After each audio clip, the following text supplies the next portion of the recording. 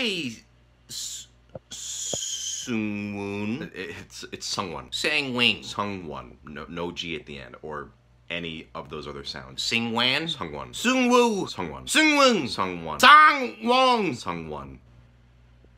Do you have an English name? Bitch. Okay, it's it's like the two English words.